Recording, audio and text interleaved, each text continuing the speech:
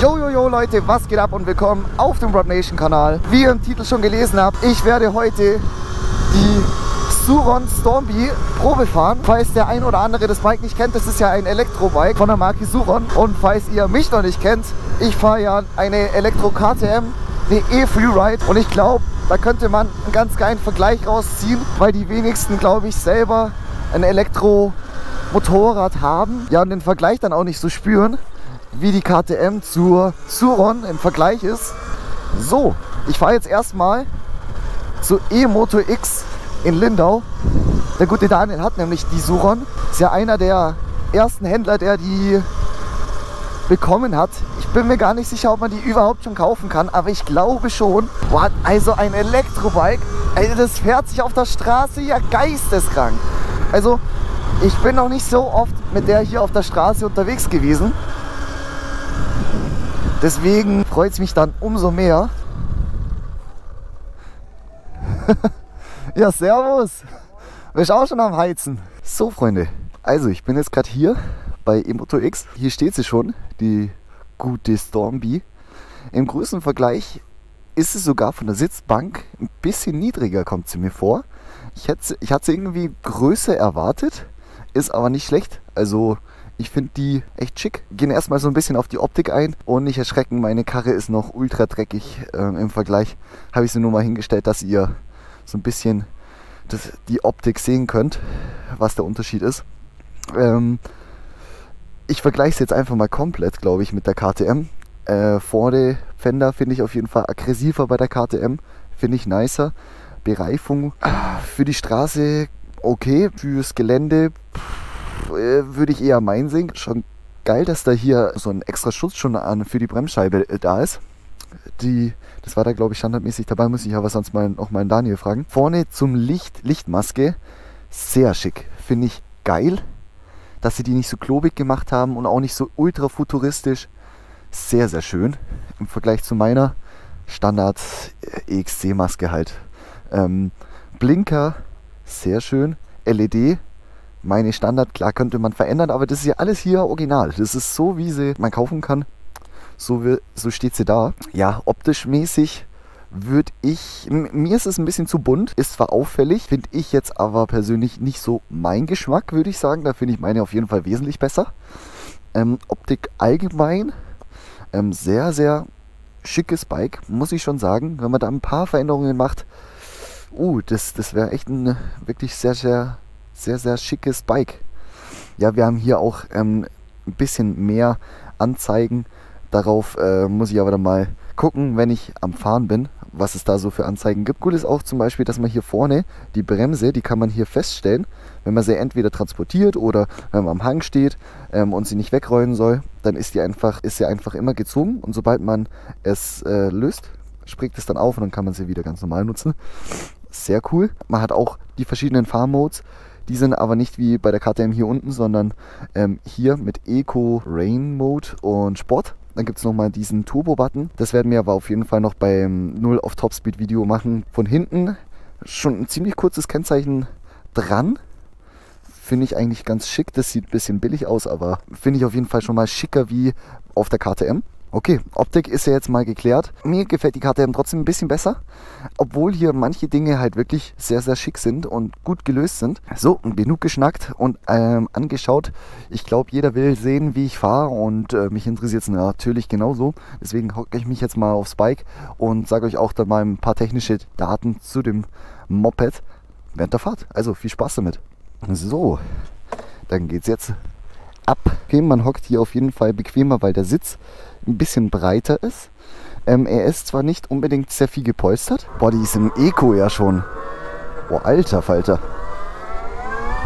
Alter, die geht eher in Eco schon ultra ab. Ja, Wahnsinn. Alter, im Eco geht die ja schon ultra. Boah, ist das ein cooles Teil. Macht mir jetzt schon auf den ersten Metern Spaß. Alter. Also das ist Eco ist wie bei mir Stufe 2, glaube ich fast. Okay, wir sind hier bei 100 Prozent. Ja, von der Wendigkeit her ist sie auf jeden Fall ähm, nicht so agil. Angegeben ist ja bei 50 km/h, dass man 100 Kilometer weit kommt. Die Sache ist nur, 50 km/h. Wer fährt denn permanent 50 km/h? Das ist äh, viel zu wenig. Also die Angaben sind zwar äh, ja, recht gu gut und schön, aber kein Mensch fährt äh, immer nur 50. Aber schon mal ein guter Richtwert, würde ich sagen. Boah, also das Motorrad, wirklich, das schiebt anders an. Sie ist ja auch angegeben mit einer 15 PS Nennleistung und Peak liegt bei 22 kW. Meine KTM, ich vergleiche sie einfach immer wieder mit meiner KTM, dass ihr einen groben Richtwert habt. Meine KTM hat eine Peak-Leistung von 22 PS, nicht 22 kW. Und 22 kW sind 30 PS. Die fährt sich echt cool. Also die ist äh, wirklich krass am Gas. Aber ja, man hockt definitiv mehr im Bike als auf dem Bike. Ähm, ich glaube, so für Touren auf entspannt wohin fahren, geiler. Aber mir fehlt so ein bisschen dieses Aggressive, wenn ich einlenke, dass es sofort irgendwie kommt. Ist gerade irgendwie ein bisschen schwierig zu erklären.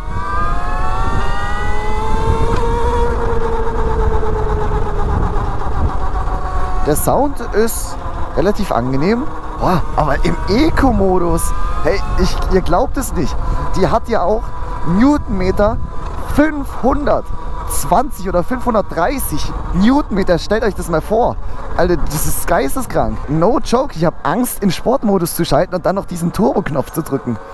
Also wenn, wenn Eco schon so aggressiv nach vorne geht, wünscht mir Glück. Ich habe jetzt gerade mal in Sportmodus geschalten. Jetzt bin ich gespannt. Alter. oh, ich habe Angst. No joke, ich habe Angst. Okay, okay. ja, ich hätte es mir jetzt noch krasser vorgestellt. Aha, aha. Okay, okay. Hä?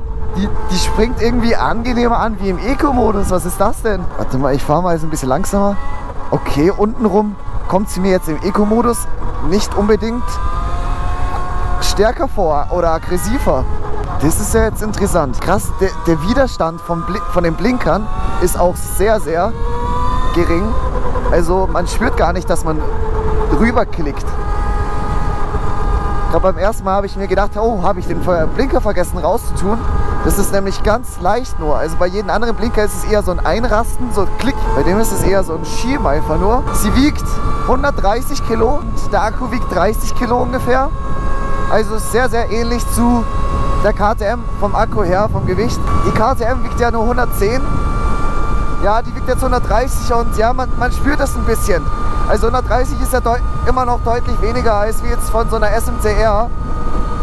Aber im Gelände, das ist ja eine Enduro. Ich glaube, soweit ich mich reingelesen habe, gibt es drei Versionen, eine Street, Enduro und eine Vollcross. Also als Enduro weiß ich nicht, ob ich sie jetzt ganz so sehen würde, weil da macht jedes Kilo echt was aus. Und 130 ist schon ein Haufen. Wenn man jetzt so eine Reise Enduro sucht, also halt so ein bisschen wandern auf Feldwegen und so weiter, dann cool. Aber so wirklich im Gelände, puh, weiß ich nicht, ob ich es jetzt gerade sehe.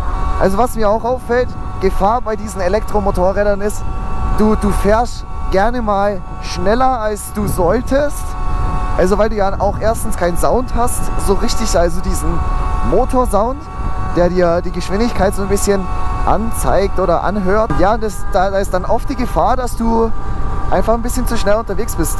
Man merkt richtig, man hockt richtig angenehm auf dem Motorrad. Das ist wirklich, wenn man, wenn man eine Tour fahren möchte mit diesem Gerät, dann geht das ohne Probleme. Da, ist, da sehe ich jetzt meine KTM dann nicht so. Die ist auch wirklich nicht auf der Straße zu Hause.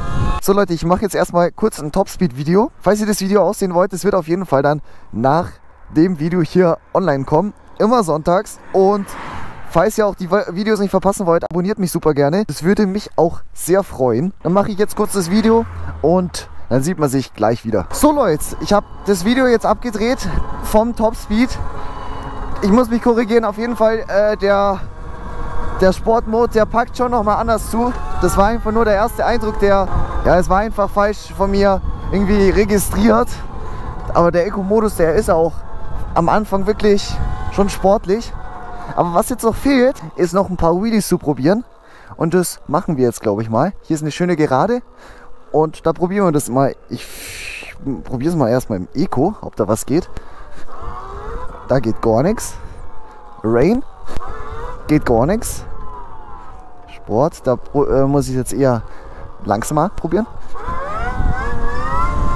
Aha.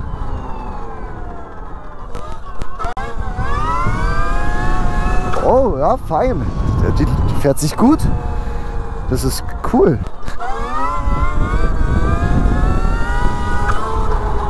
Ja, mir gefällt beim Wheelie fahren gefällt mir meine mehr, muss ich sagen. Muss ich, muss ich sagen. Also, keine Frage, das wird mit, dem Masch mit der Maschine genauso gehen. Aber ist nicht so mein Fall, muss ich, muss ich ehrlich sagen. Einen probieren wir noch.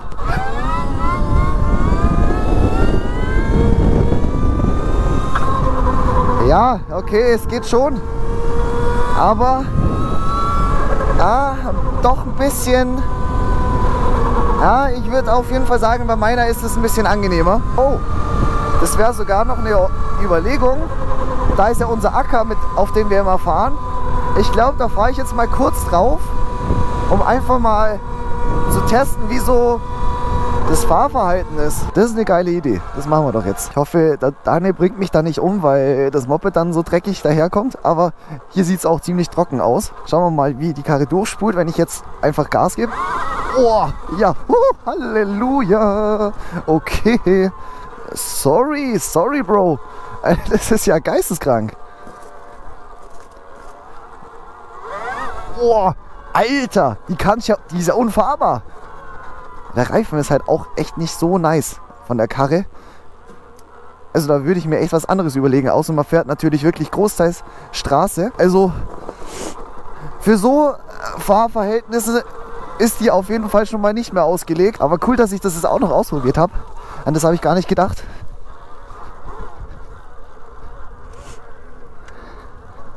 Aber ja, das bringt mich auch glaube ich, schon zum Fazit. Zu der guten Suron. Und zwar, wo sehe ich das Bike? Ich sehe das Bike auf jeden Fall mehr auf der Straße als wie im Gelände. Mir hat sie einfach ein bisschen zu viel Gewicht und,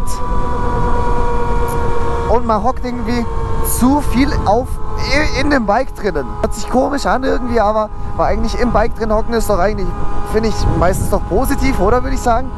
Aber hier nicht. Also mir persönlich ist es einfach zu sehr Reisemaschine. Also für mich ist das eher so eine Alltagsstraßen, Straßenmotorrad, das einfach bewegt wird von A nach B. Aber ob ich das jetzt im Gelände sehe, nicht so. Also man kann sie zwar mit der KTM vergleichen, weil es beides Elektromotorräder sind, dennoch ist es eine ganz andere Kategorie meiner Meinung nach. Ich sehe die wirklich mehr als straßentaugliches Motorrad. Ja, sie ist so eher, würde ich sagen, so ein Konkurrenzprodukt zu der SMCR oder zu so einer 701, weil sie halt auch Supermoto lastig ist, so vom Fahren her, aber halt einfach mir ein bisschen zu brav. Ja, das ist, glaube ich, ein guter Ausdruck. Sie ist mir zu brav. Sie ist ein tolles Motorrad, keine Frage. Würde ich meine KTM eintauschen? Auf gar keinen Fall. Es gibt auch noch richtig geile andere Suron-Modelle. Die sind dann auch noch wesentlich interessanter im Geländeaspekt. Das wäre vielleicht noch eine Alternative, wenn man das nötige Kleingeld hat, ein Straßenmotorrad sehe ich hier, würde ich aber dann andere Bereifung auf jeden Fall drauf tun. Und dann noch die Suron Lightbee, glaube ich, heißt die, wenn ich mich nicht irre. Die dann auf, äh, auf, der, auf dem Gelände dann fahren. Dazu wird auf jeden Fall auch noch mein Video kommen. Hier liegt einfach noch Schnee. Geil. Spaßmäßigkeit würde ich auch eher die KTM bevorzugen. Spaßmäßig KTM. Alltagstauglicher die hier, die Suron. Ganz klarer Fall. So, das war meine Meinung Ich hoffe, euch hat das Video gefallen. Falls ihr irgendwelche Fragen noch zu der Maschine habt, dann stellt sie mir super gerne hier unten in die Kommentare rein. Dann kann ich vielleicht sogar noch mal ein extra Video dazu machen, wenn ich irgendwas vergessen habe, auch zu erklären oder so. Wenn es euch irgendwas noch interessiert. Ich sage auch nochmal viele Grüße und danke an den Daniel von Emoto X. Geiler Dude. Wir werden auf jeden Fall auch mal zusammen eine Runde fahren gehen. Sehr, sehr cool, freue ich mich schon drauf. Und falls ihr kommende Videos nicht verpassen wollt, dann abonniert super gerne meinen Kanal. Ich hoffe, euch hat das Video gefallen. Der erste Eindruck der Maschine. Und im nächsten Video wird es dann darum gehen, Topspeed von der guten Suron. Sonst wird das Video einfach viel zu lang und so kann man auch explizit nach Videothemen suchen. Und mit der schönen Sonne hier vor mir sage ich danke fürs Zuschauen, Leute. Man sieht sich spätestens im nächsten Video. Haut rein, bis zum nächsten Mal und tschüss.